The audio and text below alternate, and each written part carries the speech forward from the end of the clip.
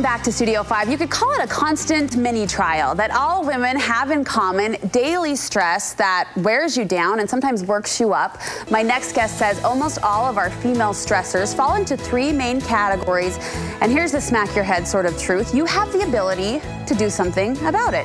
Studio 5 contributor Connie Sokol is an author and founder of the Back to Basics program. So these three categories of stress, really almost every bump in our day can fit into one of these. Yeah, I mean, there could be a top five, a top 10, but when I put this on my Facebook page, I was seeing all the things that they, women were saying, and I started seeing this pattern of this right now, these kind of top three. So that's where I picked them out. And each one of these has really applicable solutions that you could implement today. Yes, absolutely. And I think I love that we can do something about these and we don't have to feel like we're stuck.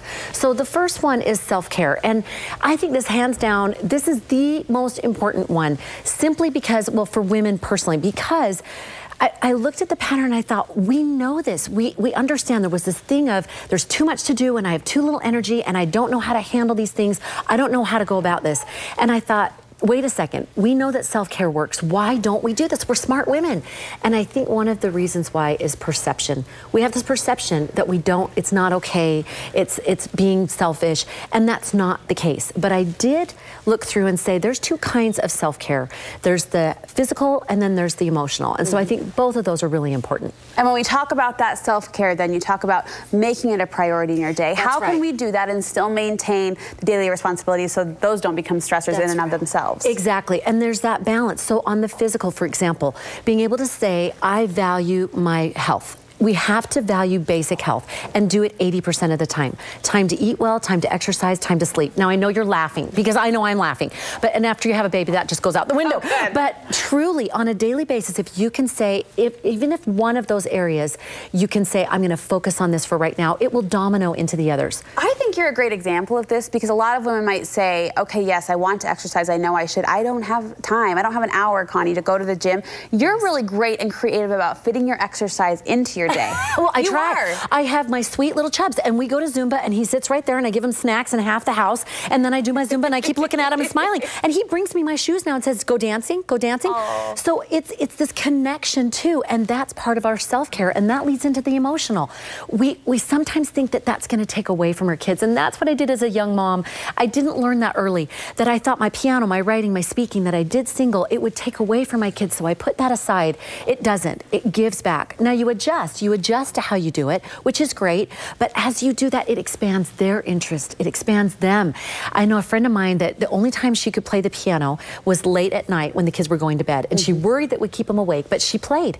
And years later, her son called her from college and said, oh, I heard one of those, I think it was a Brahms lullaby. I heard the Brahms that used to play when, when we were little. How much she gave to them of her. Mm. And that's what's so emotionally healing and self-caring is if we share who we are with our kids and not lock it away, then that creates that daily self-care we add and we don't take away. It's not a surprise that finances made the top oh, three oh stressors list. Yes, which I find kind of funny because we have as women, we deal with it on a daily basis, but there's this kind of unease about it. And I think it's because most of us feel we don't have a solid grasp. And that's okay.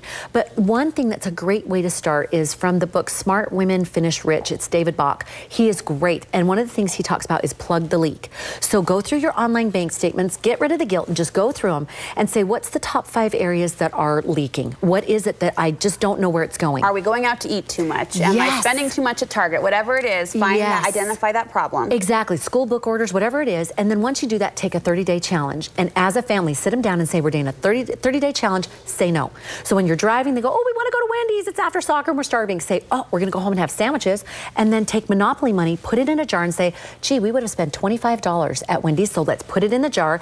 And it will be a visual to teach your children how much we're going out and how much we save by not doing that. And I know we're talking about eliminating the stress in our lives, but that's a brilliant parent teaching moment too. Oh, it's so helpful because this issue right now with this entitlement, this lack of delayed gratification that kids are experiencing, it's following them into their adult lives and it is really wreaking havoc. So when we teach them early, hey, look at the margins here. If we don't do this now, we save up for Disneyland later or something. Mm -hmm. Make a strong, clear financial goal that the kids can point to. They get that idea of how this works. Well, and I think the idea, the challenge of curbing that delayed gratification problem that we know is such an issue feels so big to parents, but something as simple as skipping the Wendy's drive-through once yes. and explaining why why? It's those small little nuggets of information, right, that they will collect over time. No pun intended. No exactly. Pun, pun intended. Save the 99 cents on the nuggets and That's put right. it in the Monopoly jar. This third one kind of surprised me, I have to admit. You, in the women you talk to, you say connections are a stress. How, Yes. how come? They were worried that in this digital, superficial world that we live in, that they were not getting the deeper, more meaningful connections and conversations with their kids. And rightly so. Because if you look at an average week or an average day in a woman's life, she's running, she's carpooling, she's, hey, how you doing? Did you do that? Great. Let me see your backpack. Get the get the homework. And it's on to the next thing. You're a doing flurry. Yes. And it's not eyeball to eyeball and not connection to connection. And so one thing that we can do is to seek, actively seek for those moments. Don't be guilty about it. Just seek as you start the day, say, who do I need to connect with in my kids? Who do I need to connect with today? Just yesterday, we're folding laundry and I'm usually, the kids are folding and I'm putting stuff away. And my son happened to be in the laundry room with me and we were talking and, and had this great connection. Just a few minutes. Didn't have to be a big deal, but it was this connection. It was sweet and it was wonderful right there in the laundry room. So that's what we need to do is seek for those moments. And then once we have them, don't be functional with the to-dos. Make it a part of what you're doing. Driving on the go, make it a part, get the eyeballs, have that meaningful moment. Don't you think half of it is just recognizing it? It's not the big grand mommy daughter Yes. date that has to be planned out and scheduled weeks in advance, but it's Yes. just being consciously aware those connections can happen in the laundry room in small moments. Absolutely. Laying on the floor, being outside in the grass, looking at the bubbles, whatever. And it, it's only a couple of minutes. It doesn't have to take a long time, although if you can, that's great. Great advice to hopefully combat these three stressors that leak into women's life on a daily basis. We want to pause and say congratulations on a new book that you just put out. Yes, and it came about from this. It's on um, what every sixth grader needs to know 10 secrets to connect moms and daughters. And it came from these kind of conversations that we've had with our sixth graders. And today we're having a Facebook chat on Talking with Your Tween right after Studio 5 on www.facebook.com slash 8, the number 8 basics. And it's on for 99 cents just for today for viewers. I love those good Facebook conversations, Connie. You will be at the heart of that, and we'll link people over if they want to click and connect with you.